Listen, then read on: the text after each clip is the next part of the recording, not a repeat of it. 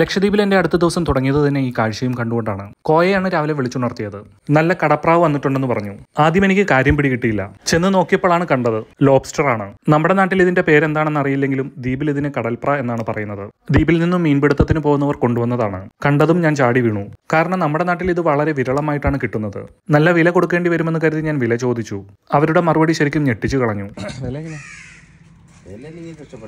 വില നിങ്ങൾക്ക് ഇഷ്ടപ്പെട്ടതിനാ എനിക്ക് ഇഷ്ടപ്പെട്ട വില കൊടുത്താൽ മതിയെന്ന്. എനിക്കിതിന്റെ ദ്വീപിലെ വില അറിയില്ലല്ലോ. എന്റെ റിക്വസ്റ്റ് കാരണം അവസാനം അവരൊരു വില പറഞ്ഞു. വീണ്ടും ഇവരെന്നെ ഞെട്ടിച്ചു കളഞ്ഞു. കാരണം നാട്ടിൽ ഇതിന് ഒരു കിലോയ്ക്ക് ഏറ്റവും കുറഞ്ഞത് ആയിരത്തി അറുന്നൂറ് രൂപയെങ്കിലും കൊടുക്കേണ്ടി വരും. ഇതിപ്പോ രണ്ട് ലോബ്സ്റ്റർ ഉണ്ട്. രണ്ടും കൂടി ഏകദേശം രണ്ട് കിലോ അടുത്ത് തൂക്കം വരുന്നുണ്ട്. ഹരിച്ചും ഗുണിച്ചും ഗണിച്ചും നോക്കിയാലും ലാഭം എനിക്ക് തന്നെ. ഒരു പൈസ പോലും വിലപേശാൻ നിന്നില്ല. അവർ പറഞ്ഞ വില തന്നെ കൊടുത്ത് സാധനം വാങ്ങി. ജീവനോട് കൂടിയ നല്ല ഫ്രഷ് ലോബ്സ്റ്റർ രണ്ട് കിലോ അടുത്ത് തൂക്കം. അഞ്ഞൂറ് രൂപയ്ക്ക്. ഇന്ന് ലക്ഷദ്വീപിലെ പിട്ടി എന്ന് പറയുന്ന ചെറുദ്വീപിലേക്കുള്ള യാത്രയാണ്. യാത്ര കഴിഞ്ഞു വന്ന് ഇവനെ ശരിയാക്കാമെന്ന് തീരുമാനിച്ചു. തിരിച്ചു വരുന്നിടം വരെ ജീവൻ കണ്ടേക്കുമെന്ന് കോയയും പറഞ്ഞു. തിരിച്ചു വരുമ്പോഴേക്കും ജീവൻ കാണുമെന്ന് കോയ പറഞ്ഞ കാര്യം നിങ്ങൾ മനസ്സിലൊന്ന് വെച്ചേക്കുക. കാരണം തിരിച്ചു വന്നപ്പോഴേക്കും മറ്റൊരു ട്വിസ്റ്റായിരുന്നു കോയ ഞങ്ങൾക്ക് വേണ്ടി കാത്തുവച്ചിരുന്നത്. ബ്രേക്ക്ഫാസ്റ്റുമായി ഇല്യാസും അതിലുമെത്തി പുട്ടും ഗ്രീൻ പീസ് കറിയും പപ്പടവുമായിരുന്നു ഇന്നത്തെ സ്പെഷ്യൽ. കൂട്ടത്തിൽ ദീപ് സ്പെഷ്യലായ ചുട്ടപ്പവും. ബ്രേക്ക്ഫാസ്റ്റ് കഴിച്ചുകൊണ്ടിരിക്കുമ്പോഴാണ് കോയയുടെ ഹോട്ടലിൽ തേങ്ങ ഇടാനായി ആളെത്തിയത്. എന്നാൽ പിന്നെ എല്ലാവർക്കും ഓരോ കരിക്ക് കൂടിയാകാമെന്നായി. കരിക്കും കുടിച്ച് ഇനി നേരെ പോകുന്നത് പിട്ടി എന്ന് പറയുന്ന ഒരു ചെറു ദ്വീപിലേക്കാണ്. സേഫ്റ്റിക്ക് വേണ്ടിയുള്ള ജാക്കറ്റും ട്യൂബും എല്ലാം ഇല്യാസ് കരുതിയിട്ടുണ്ട്. കടൽ കടന്നു വേണം പിട്ടിയിലേക്ക് പോകാൻ. കയാക്കിൽ പോകാനാണ് ഉദ്ദേശിക്കുന്നത്. കൽപ്പേനി ഐലൻഡിലെ കൂമേൽ ബീച്ചിലേക്കാണ് ആദ്യം പോകുന്നത്. ബീച്ചിൽ നിന്നാണ് കയാക്ക് എടുക്കേണ്ടത്. കൽപ്പേനി ദ്വീപിലെ വാട്ടർ ആക്ടിവിറ്റികളുടെ എല്ലാം കേന്ദ്രം കുമേൽ ബീച്ചാണ്. ബീച്ചിലെത്തി. എന്റെ ക്യാമറയ്ക്ക് ഒട്ടും പിടിതരാതെ നടക്കുന്ന ആളാണ് ആദിൽ. എന്നാൽ പിന്നെ കിടക്കട്ടെ ആദിലിന്റെ വക ഒരു സ്ലോ മോഷൻ സേഫ്റ്റി ജാക്കറ്റുകളും എടുത്ത് തീരത്തേക്ക്. തീരത്ത് ചൂണ്ടയിട്ട് മീൻ പിടിക്കുന്നവരുണ്ട്. ദ്വീപിന്റെ ഏത് തീരത്ത് നോക്കിയാലും ആരെങ്കിലുമൊക്കെ മീൻ പിടിക്കുന്നതിനായി എപ്പോഴും ഉണ്ടാവും. ഈ ഇരിക്കുന്ന ഫ്ലോട്ടിംഗ് ബ്രിഡ്ജാണ് മൺസൂൺ തുടങ്ങാൻ പോകുന്നത് കൊണ്ടാവാം. ബ്രിഡ്ജ് എല്ലാം ഊരി കരക്കി വെച്ചിരിക്കുകയാണ്. എല്ലാവരും ജാക്കറ്റ് എല്ലാം ഇട്ട് കടലിലേക്ക് ഇറങ്ങാൻ തയ്യാറായി. അക്കാണുന്ന ദ്വീപിലേക്കാണ് ഞങ്ങൾ പോകുന്നത്. കയാക്കും എടുത്ത് നേരെ കടലിലേക്ക്. വേലിയിറക്ക സമയമായതുകൊണ്ട് തന്നെ കടലിന് വലിയ ആഴമൊന്നുമില്ല.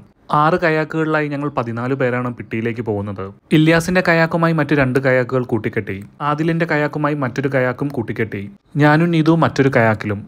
അങ്ങനെ മൂന്ന് ടീമായിട്ടാണ് ഞങ്ങളുടെ യാത്ര. രസകരമായ യാത്രയായിരുന്നു കൽപ്പേനിയിൽ നിന്നും പിട്ടിയിലേക്കുള്ളത് നല്ല പളുങ്ക് പോലത്തെ വെള്ളമുള്ള ലഗൂൺ ഏരിയയിലൂടെയുള്ള യാത്ര. അതും കയാക്കും തുഴഞ്ഞുകൊണ്ട്. ഇത്തരം അനുഭവങ്ങൾ ഇവിടെ മാത്രമേ കിട്ടുകയുള്ളൂ എന്ന് എനിക്ക് തോന്നി. ചെറിയൊരു മത്സരം പോലെയായിരുന്നു ഞങ്ങളുടെ തുഴച്ചിൽ. ഞാനും നീതുവും ആദ്യം പിട്ടിയിലെത്തി. രണ്ടാമതായി ഇല്യാസ് എത്തി. മൂന്നാമതായി വരുന്ന ആദിൽ കടലിൽ ഇറങ്ങി കയാക്കും വലിച്ചുകൊണ്ടാണ് വരുന്നത്. കയാക്കുകളെല്ലാം കരയിൽ കയറ്റി അല്പനേരം വിശ്രമം. കുടിക്കാൻ സോഫ്റ്റ് ഡ്രിങ്കുകളും കഴിക്കാൻ പലഹാരങ്ങളും എടുത്തുകൊണ്ടായിരുന്നു ഞങ്ങൾ പിട്ടിയിലേക്ക് വന്നിട്ടുള്ളത്. ഞങ്ങൾ വിശ്രമിക്കുന്ന സമയത്തായിരുന്നു ആദിലിനെ ശ്രദ്ധിച്ചത്. ഓലകൾ കൂട്ടിയിട്ടിരിക്കുന്നതിന് മുകളിൽ കിടക്കുകയാണ് ആദിൽ. ആശാൻ നല്ലതുപോലെ ക്ഷീണിച്ചിരിക്കുന്നു. കടലിൽ ഇറങ്ങി കയാക്ക് വലിച്ചുകൊണ്ടാണ് ആദിൽ കരക്കടിപ്പിച്ചിട്ടുള്ളത്. ഞാൻ വീഡിയോ എടുക്കുന്നത് കണ്ടോണ്ട് ഇല്യാസ് ആദിലിനോട് വിളിച്ചു ചോദിച്ചു.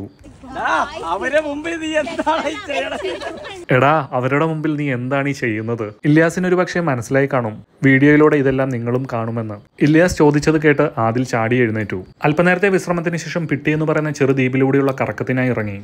തീർത്തും മനുഷ്യവാസമില്ലാത്ത പിട്ടി എന്ന് പറയുന്ന ഈ ദ്വീപിന് അര സ്ക്വയർ കിലോമീറ്റർ മാത്രമാണ് വലുപ്പം. ഇല്യാസിനും ആദിലിനും ദ്വീപെല്ലാം നല്ല പരിചയമാണ്. ദ്വീപിലൂടെയുള്ള ഇടവഴികൾ നല്ല തിട്ടമാണ് ഇരുവർക്കും. ദ്വീപിന്റെ മറുവശത്തെത്തി. എവിടെ നോക്കിയാലും കാഴ്ചകളാണ്. നിറയെ കടൽ പാറകളാണ് ഭാഗം പാറകളിൽ നിറയെ പല ജീവികളുടെ ഫോസിലുകളുമുണ്ട് പൗഴപ്പുറ്റുകളും പായലുകളും ശംഖുകളും കക്കകളും വന്നടിഞ്ഞു കിടക്കുന്ന തീരം.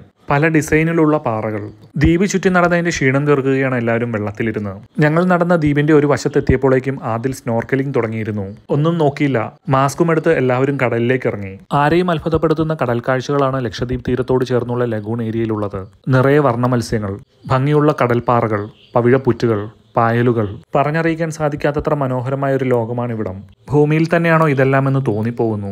കടലിലെ കാഴ്ചകൾ കണ്ട് സമയം പോയതറിഞ്ഞില്ല.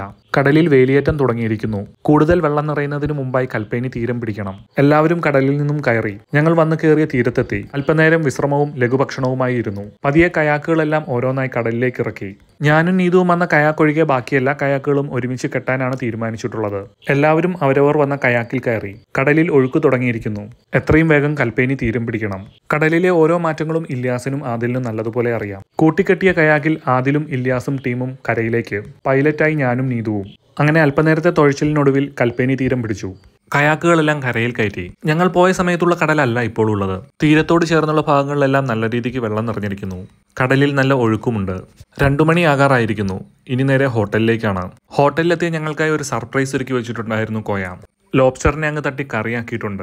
ലോബ്സ്റ്ററിനെ ക്ലീൻ ആക്കുന്നതും കറിയാക്കുന്നതുമെല്ലാം വീഡിയോ ചെയ്യണമെന്നായിരുന്നു ഞങ്ങൾ ഉദ്ദേശിച്ചിരുന്നത്. ഇല്ലാസിനോടത് രാവിലെ പറഞ്ഞിരുന്നതുമാണ്. എന്നാൽ കോയ അത് അറിഞ്ഞിരുന്നില്ല. ഒരു കണക്കിന് നോക്കിയാൽ കോയ ഇത് കറിയാക്കിയത് നന്നായി. കാരണം പിട്ടിയിൽ പോയി നല്ല ക്ഷീണിച്ചാണ് വന്നിട്ടുള്ളത്. ഇനി ലോബ്സ്റ്ററിനെ കറി വെക്കുന്ന വീഡിയോ കൂടി എടുക്കുക എന്നുള്ളത് നല്ല ബുദ്ധിമുട്ടുള്ള കാര്യം തന്നെയാണ്.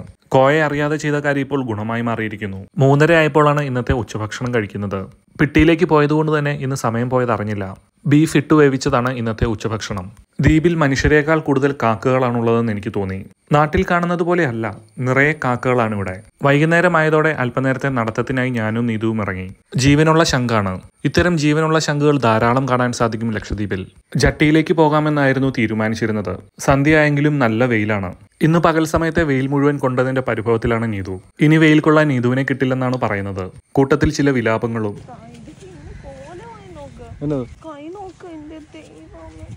കറുത്താ? ഇല്ല കറുത്തില്ല വെളുത്തു. ഞാൻ എങ്ങനെ നീതുവിന്റെ വിലാപം. എന്നാൽ പിന്നെ ഹാങ് ഔട്ടിൽ പോയി ചായയും കുടിച്ച് അസ്തമയവും കണ്ടിരിക്കാമെന്നായി. എല്ലാവരും ഹാങ് ഔട്ടിൽ എത്തിയിട്ടുണ്ട്.